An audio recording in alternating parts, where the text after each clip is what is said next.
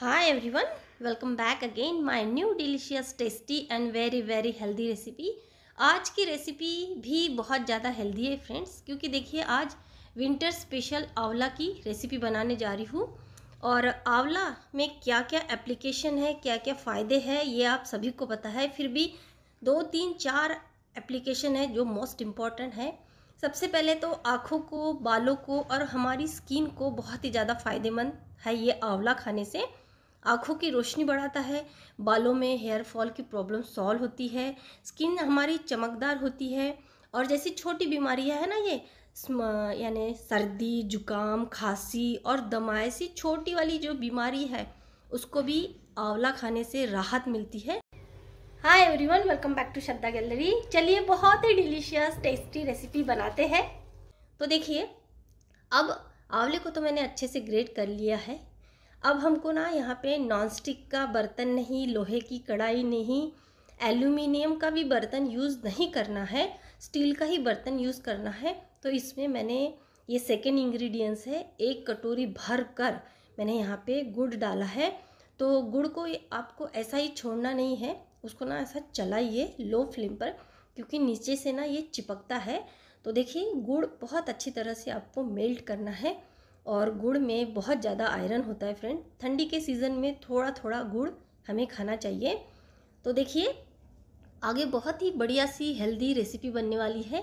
यहाँ तक वीडियो देख लिए फ्रेंड्स आगे भी देख लीजिए। और अगर आप न्यू है यहाँ पे मेरा रेसिपी देखने के लिए तो चैनल को ज़रूर सब्सक्राइब कर दीजिए। तो देखिए, अब हम क्या करेंगे? हमने जो सारा ग्रेट किया है आंवला, इसमें डाल देंगे। और अच्छे से मिलाएँगे और मिलाने के बाद में ना इसको ढक्कन लगा दीजिए और स्टार्टिंग के कम से कम तीन मिनट लो फ्लेम पर पकाएँगे। तो जब हम इसको पकाते हैं तो थोड़ा सा अभी ये मॉइस्ट हो जाएगा। इसमें पानी छोड़ देगा, ये गुड़ है ना? पानी छोड़ने के बाद ये जो आंवला है ग्रेटेड आंवला, इसी में अच्छे से पक जाएगा। तो देखिए, मैंने कम से कम इसको ना पंद्रह मिनट अच्छे से पकाया है। यानी हर दो दो, तीन तीन मिनट बाद अप, हमको अच्छे से चलाते हुए इसको पकाना है। यानी सब तरफ़ से हमारा ये जो मुरब्बा है, अच्छे से पक जाता है। तो देखिए, इस तरह से कम से कम तेरह मिनट हो गए हैं। तो ये अभी भी थोड़ा गीला है और हमको ना इसको बहुत ज़्यादा ड्राई नहीं करना है, थोड़ा जूसी ही रखेंगे हम। तो चलिए, एक से डेढ़ मिनट फिर से पकाएँगे। थोड़ा सा इसको फिर से सॉफ्ट करेंगे। बस, अभी उससे ज़्यादा आपको नहीं पकाना है। ये जो मुरब्बा है, ये जूसी ही अच्छा लगता है। तो देखिए, इस तरह से ये बन गया है। इसमें ना थोड़ा इलायची पाउडर भी डाला है फ्लेवर के लिए। आप यहाँ पर दालचीनी का पाउडर है, ये भी डाल सकते हैं। और आपको ना स्टार्टिंग में थोड़ा गुड़ ज़्यादा डालना है। तो लीजिए, बहुत ही सुपर सॉफ्ट बना है। हेल्दी है ये मुरब्बा। ज़रूर ट्राई करिएगा इस रेसिपी को।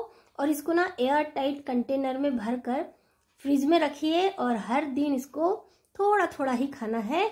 तो लीजिए, इस हेल्दी मुरब्बे को ज़रूर से ट्राई करिए और लाइक कर दीजिए। Bye bye friends